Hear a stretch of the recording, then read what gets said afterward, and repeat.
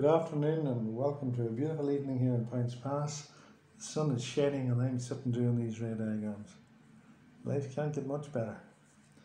So what we're doing, we're going to chapter 36. We're going to do the ray diagrams for a convex lens. So let's pray that this yoke works because I have my speed work done here. So it's chapter 36. I hope in the skinny one. It's the ray diagrams is what we're doing. For a convex lens, convex converging, convex lens, and it's page 448. Now, what do I want done with this? On graph paper preferably, because it'll save you a lot of time drawing it out. I want you to do these one, two, three, four, five ray diagrams on page 448, figure 36.21. Then when you have them done, and I mean drawn accurately with a pencil, a ruler, so you need a pencil, a ruler, preferably graph paper, but if you don't have it, that's tough, just take your time like I did and draw it all out. And then when you've it all done and done properly, and you check it inside out or I'll send it back, then you upload it and I mark it for you. Fair enough? So let's begin here.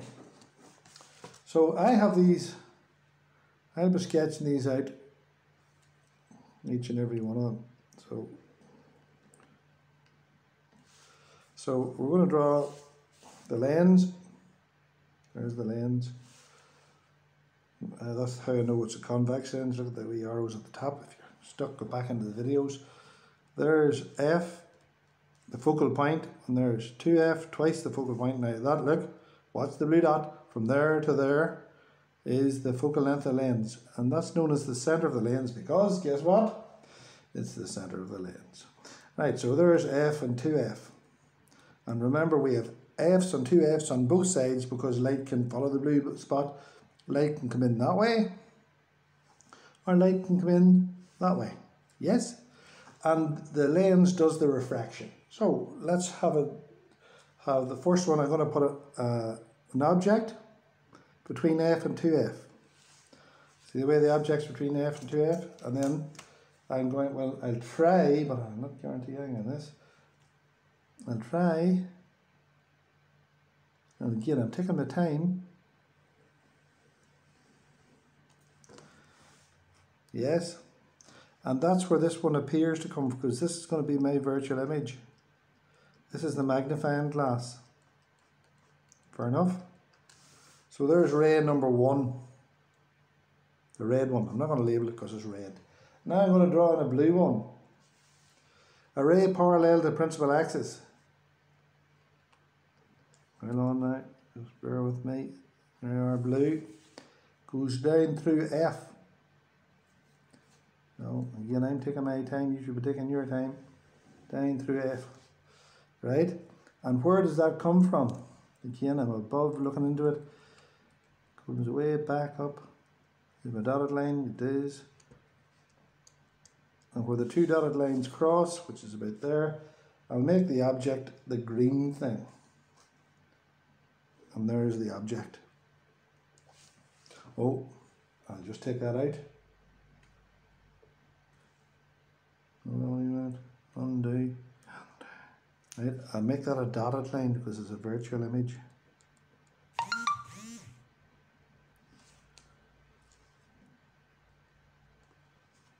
Fair enough. So there's your image. So this is a magnifying glass. That is a virtual image. That doesn't exist. There's your object. I will now write in O for object. What do you think I'm going to write in for image? Correct. I. The image is virtual, erect, enlarged, and beyond 2f. Where's the object? Between F and C. Fair enough? So that's the first one. Now I'm going to draw the second one. I know this is excitement. How do you think I feel? Right, so there's my lens. And now I'm going to draw the principal axis. There's it there. And there's F. And there's 2F, so I'll label them.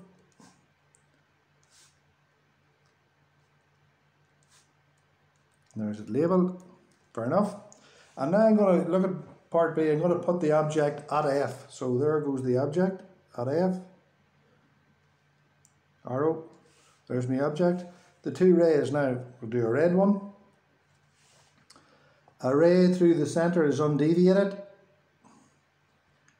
Imagine this is the excitement of your life, Nick, huh? There's that one. I'll put an arrow on it. And the second one, one what colour was the second one? Let me have a look. Blue. And then we'll go to the blue one. Array parallel to principal axis. Is refracted through F. Bent through F. See the blue one? And if you have drawn these right, these are parallel lines. Right? Parallel lines and they don't meet. So we'll go back to our pen and there's the object and there is no image because parallel lines never meet. Fair enough. This could be you focusing the sun at the focal point, maybe to set fire to paper or something. That's a bit the excitement of this. So if the object is at F, there is no image. Let's do the next one. So we're on to C, and you can see now that the object is between 2F and F. So let's go again.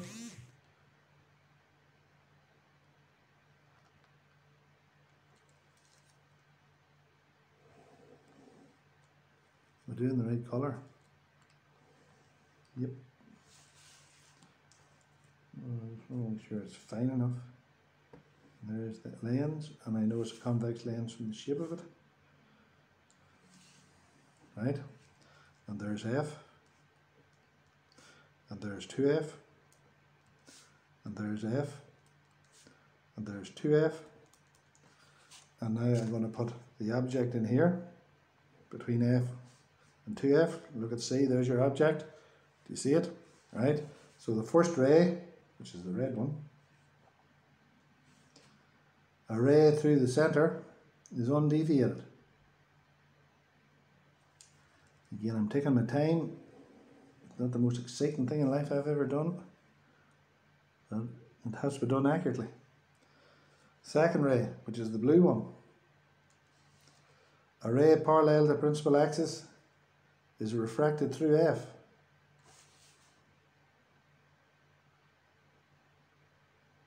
Again, taking my time, make sure I get it right. And with the two cross, that's going to be my object, or my image, sorry, right, this image, right? So there's the image. Fair enough. Here is my object. Here is my image. So there's the object. The object is between F and 2F, and there's the image. It's beyond F. It's inverted, and that means through upside down. It's enlarged. It means that the image is bigger than the object and it's beyond 2F and it's real. So that could be something like a projector screen. You put in an image here, you put in your film here, there's your film, and you get an image on a screen here and you would say, some projector that is, the image is upside down. So you put in the object in upside down. So the next time you go to the cinema, that's what they're doing. They're putting the object in upside down and getting the image, a real image on the screen. Right, let's do number four, D. D for dog. So I'm going to draw the lens. Yes, now I'm going to draw the principal axis. And again, I'm taking my time, perpendicular and all that. And get it wrong, just goes wrong. There's F. There's 2F. There's F. And there's 2F. And there's the center of the lens. So we've it all labelled. I'm going to put the object at 2F. There's the object at 2F. Now, carefully, red one, a ray through the centre through the center is undeviated. You see that on that? Yep. Mm. There's the red one. Now we go for the blue one. Array parallel to, oh, what on in the back? Put an arrow on that chap. Right, and we'll go for the blue one. Array parallel to the principal axis is refracted through F.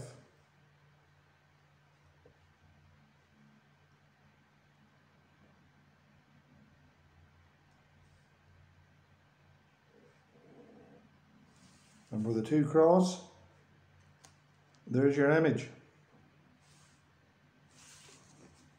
So have a look at that one. There's your object, follow the blue spot, and there's your image. The object is at 2F, and the image is at 2F. So there's your object, O, and there's your image. And your image is real because the really cross, the red one crosses the blue one there. It's inverted, it's upside down. It's the same size as the object.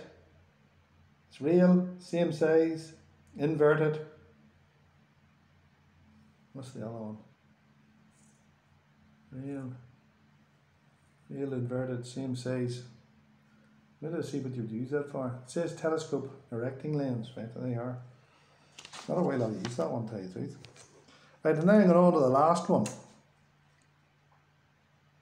On to the last one. This is E for elephant. Again, you sketch it, have a look at what I'm doing, and then you go and do it.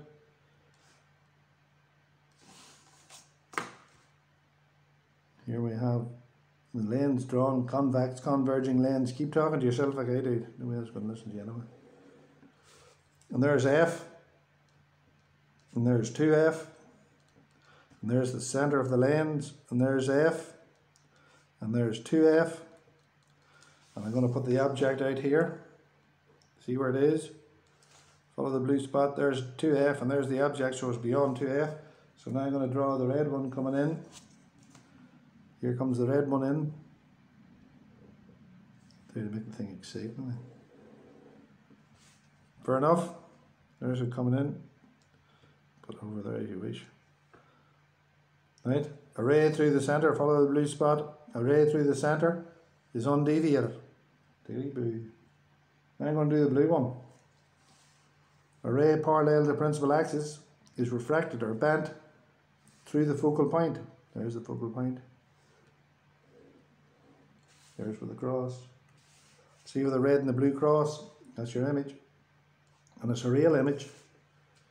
There's your image. It's real, the really cross. There's your object. The image is smaller than the object. It's upside down. It's inverted. The image is inverted compared to the object. The image is smaller than the object. The image is real. So that's the camera. So let's write these things all down what they are. Let's go up to the top. Thank you very much, machine. That's a magnifying glass.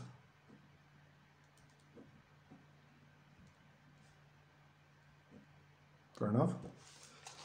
This one, well, searchlight. Oh. Never look at that one. Not that there's too many searchlights around Poyntzpass now, is not. Here is your cinema projector, so we'll just put in projector. Next time you're at the cinema, that'll be a first. There's your projector.